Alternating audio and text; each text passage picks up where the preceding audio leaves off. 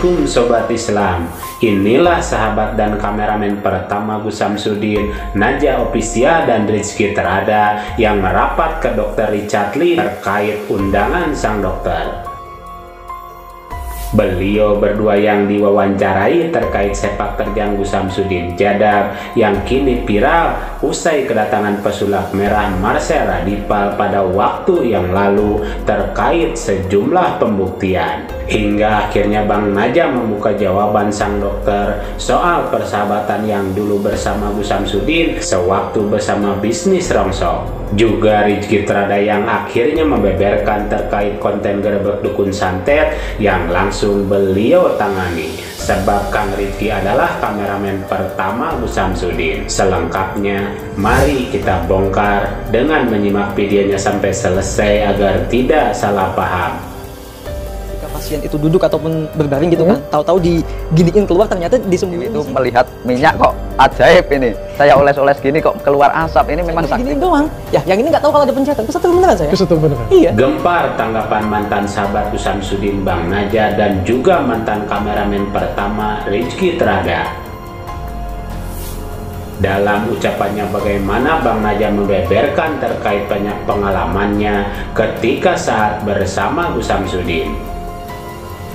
Menurutnya yang di awal dikenalkan dengan Gus Samsudin adalah saat beliau beli atap untuk gudang rongsok ke Gus Samsudin sekitar tahun 2013. Dan pada saat itulah Bang Naja menyampaikan Gus Samsudin membuat padepokan dan bikin konten. Walau gak terlalu kepo, soalnya di bidang rongsokan dia sudah bikin padepokan itu. Dan dia sudah tidak konsen sama rongsoknya. Lalu ketika bikin padepokan dia masih ngerongsok juga sampai sekarang ini. Tapi ketika padepokannya sudah rame, rongsoknya sudah ada yang menghandle sendiri, kata Bang Naja. Itu saya dikenalkan oleh teman saya yang uh, juga itu mengenalkan sama-sama itu katanya punya seng. Ya itu awal mulanya kenalnya itu beli seng bekas dari dia. Ya itu ketika dia bikin padepokan itu sebenarnya masih ngerosok juga. Uh, sampai uh, 2022 ini ya masih ngerosok gitu tapi itu sudah ketika uh, padepokannya sudah rame itu kan ada yang menghandle. Selanjutnya, Rizky terada sosok yang banyak mengetahui sebab beliau adalah kameramen pertama Gus Samsudin yang bergabung bersama Gus Samsudin sekitar tahun 2020 awal ketika saya masuk di sana yang di awal youtuban dan sudah ada pengobatan yang pasiennya masih sepi dalam satu minggu sekitar satu pasien pada saat itu Rizky yang akhirnya membeberkan soal pengobatan Samsudin yang di awal sangat kagum dengan banyak kesaktian Samsudin.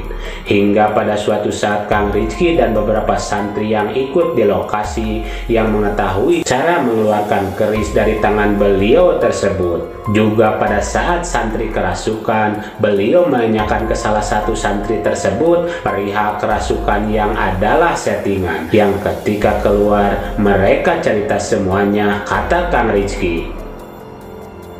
Berbagai pengakuan pengalamannya terkait banyak pengobatan hingga pembersihan rumah diungkap bagaimana dan seperti apa cara melakukan hal tersebut. Hingga akhirnya Rizky keluar dari Padepokan 2021 lalu setelah lebaran Idul Adha diikuti beberapa santri yang lain yang keluar satu persatu. Dan semua kejadian itu sewaktu masih di padepokan yang dulu. Sebelum pindah ke padepokan yang sekarang kata Kang Rizky Terada kayak apa ya istilahnya ya ketika pasien itu duduk ataupun berbaring gitu kan tahu-tahu diginiin keluar ternyata disembunyiin di sini.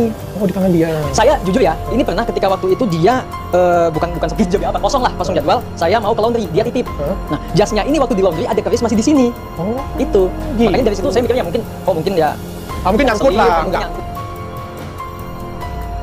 Demikian informasi dari Bang Naja Opesia dan Kang Rizky Terada yang diundang bersama di Jakarta di acara podcastnya Dr. Richard Lee terkait sejumlah pernyataan saat beliau-beliau bersama dengan Musam Sudin pada waktu lalu.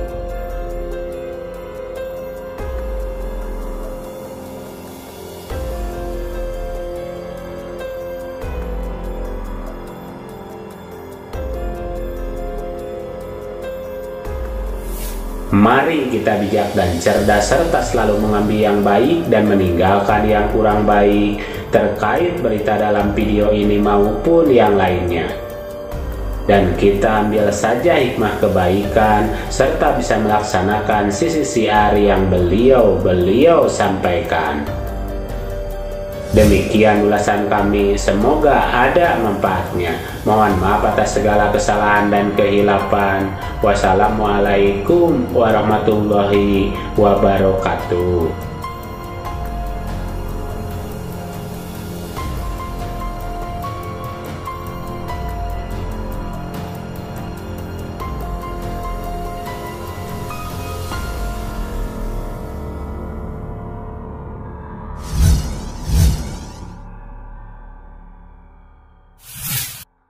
Harta yang kita cari pagi, petang, siang, dan malam itu belum tentu kita nikmati. Maka salah satu investasi akhirat sampai ke alam barzah kita adalah pembangunan pondok pesantren.